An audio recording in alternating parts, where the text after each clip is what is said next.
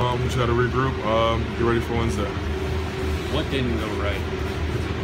Tough game from the very beginning. They jumped you in the 10-0 run and never looked back. What, what happened out there? I don't know. Um, they got some shots to fall early, and uh, we just couldn't stop the bleeding. Paul, what do you think?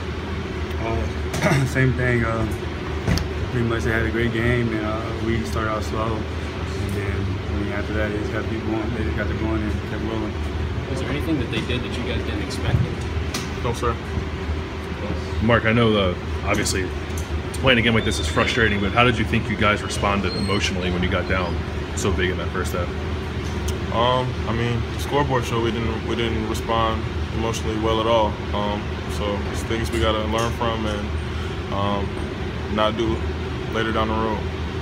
What was different? You guys have been playing really well defensively coming into this game, and obviously they got on a roll there in that first half.